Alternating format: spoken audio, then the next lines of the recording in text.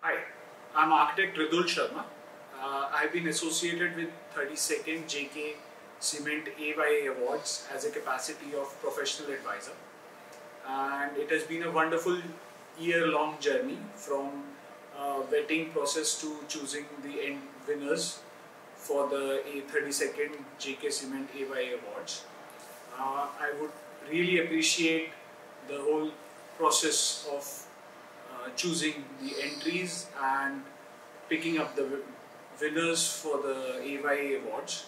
I really appreciate the work that JK Cement is doing in the field of architecture and, and validating those architects for their work that is being done.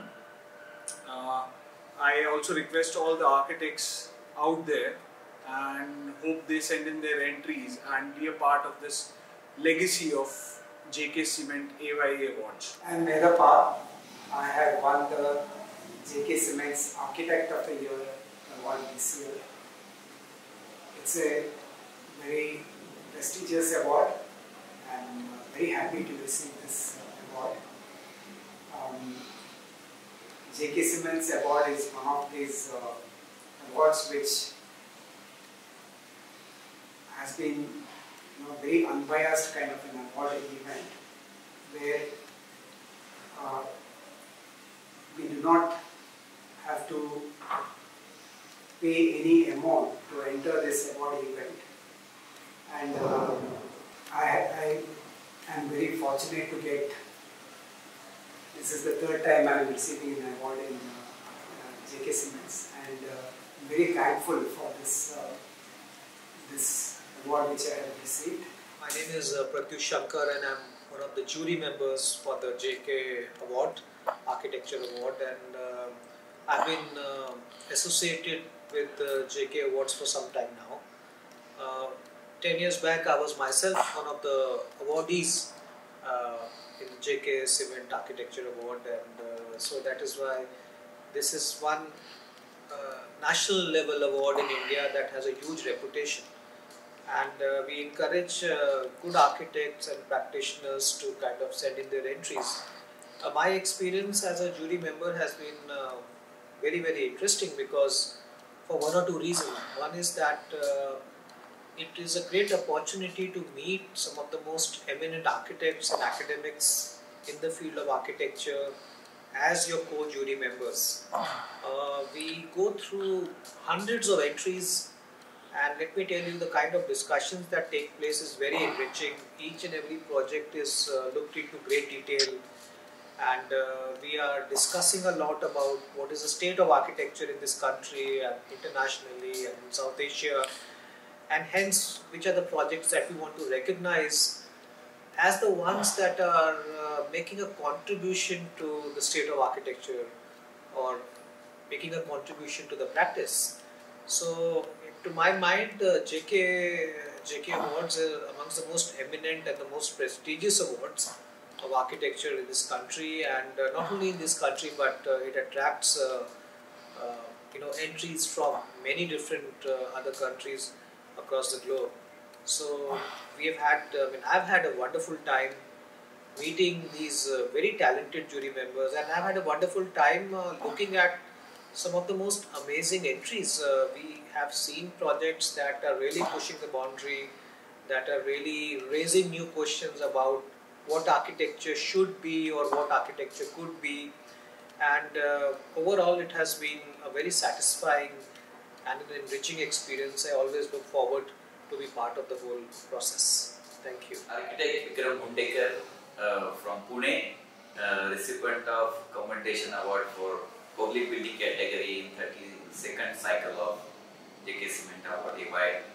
And uh, it has been a very nice experience being here after putting up the project for a competition. We have just uh, uh, uh, heard that it went through a very impartial process of selection criteria and then the jury process and then the awards were declared today. So this award has been very special for me because it is one of the prestigious award uh, in the architectural fraternity which is, has been instituted more than 30 years and has a wide legacy and huge legacy for the the nationwide architecture scenario. Many people uh, who are very senior to us have won this award when I was part of the students and we always used to fascinated by this kind of award.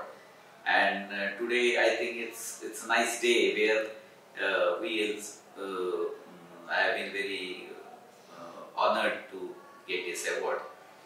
Uh, I think this award has a lot of advantages. One is to build in the confidence, and the second is that uh, it provokes the professional fraternity to do something much better and better for the society to come.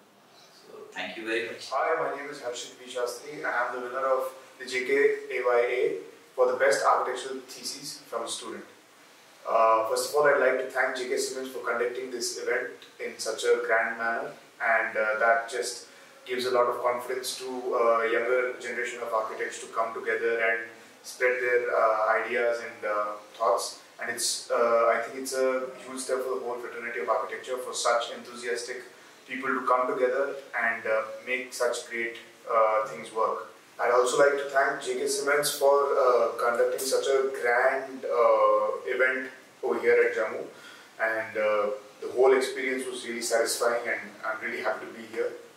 Thank you for considering me. 22 years is a very very long time and uh, I really congratulate the JKAYA team for having consistently um, organized this event for so many years it's a great uh, recognition for the architectural fraternity.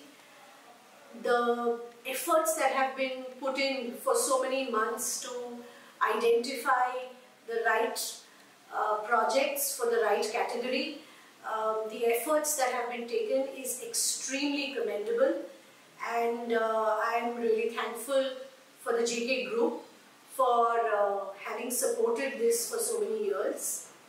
Uh, today, Edifice Consultant uh, was awarded with the Best uh, Sustainable uh, Architecture Award. Uh, we did this ministry headquarters for the Ministry of New and Renewable Energy. It's called the Atal Akshay Urja Project, which is a net zero energy project and based in Delhi. Our project was you know, recognized as the most sustainable project and you, JK Awards, for uh, this honor. Uh, we are extremely humbled and honored to have received this award.